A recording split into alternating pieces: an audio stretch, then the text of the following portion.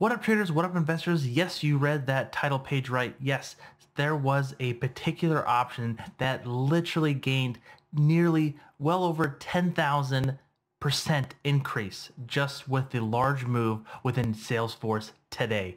And we're going to be diving into this and understanding why and the probability of these options expanding and really just exploding in price with this. Again, looking here at CRM, let's go ahead and just dive right into it had a absolute, absolutely phenomenal quarter, uh, breaking out to all-time highs today, having a large move just yesterday, breaking out to all-time highs, but then having a huge gap up, jumping up $56, hitting a high of $277.97 today.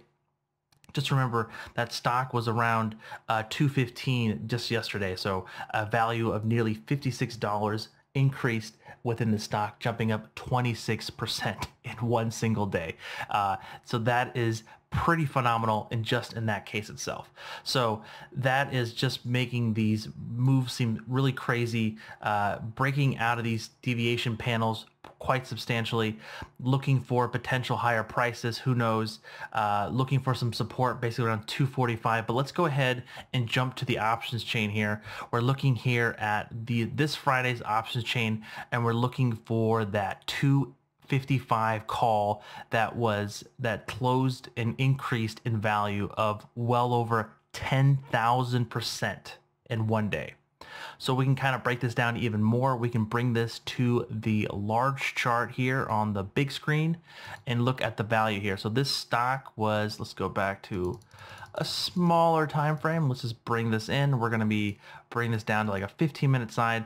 This option at its low was basically six cents. And if we just break this down to, uh, let's do like a four hour chart. Uh, just yesterday, it got a high of about a dollar 85, then kind of kind of closed here at basically 40 cents. Imagine buying a, a, such a far uh, out out of a, out of a basically an out of the money call, not expecting this ever to be in the money that's expiring this week. But again, with earnings, you got that coin flip and you got that uh, the crazy uh, tech on and looking for that option that just exploded higher, uh, opening up and being the high of the day of $23.47. So imagine buying an option for 40 bucks and then the next day it was it's being worth about $2,300. So that is pretty phenomenal. Uh, I haven't seen anything on Wall Street bets regarding on this particular trade. I don't think many folks actually took that trade uh, because that was just a uh, such a large deviation move of I think the options market was just maybe looking for like a $20 move.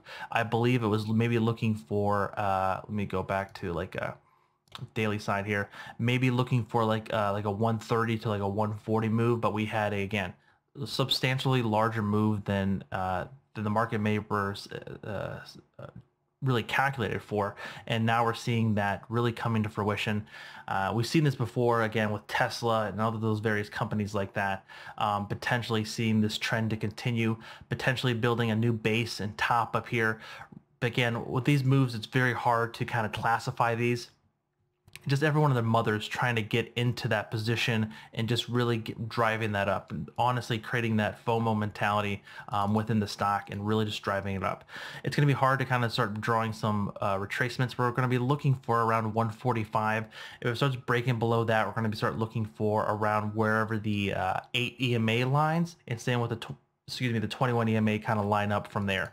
And that's going to be basically our downward support. But again, with these large moves to the upside, like we talked about that with uh, Tesla, so we can kind of show that example with Tesla way back when. We have to go all the way back here.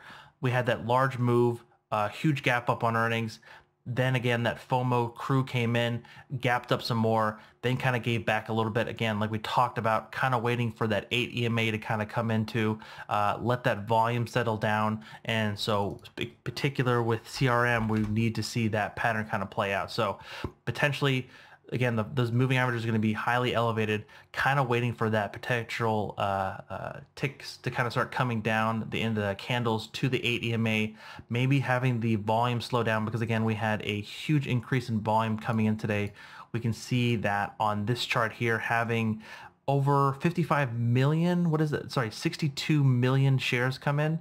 Um, on an average day we have about seven. So we're talking almost eight times uh, the amount of volume was nine times the volume that come in on an average day in this particular stock. So this looks like a fantastic move higher for CRM. And anyone who had anything in CRM and is still alongside, little little clap for you there, high five, little fist bump, a little pat on the back, a little smack in the butt, and a great uh, thumbs up and some knuckles there. Again, Great work there, guys. If you have any questions, please leave it down in the description below.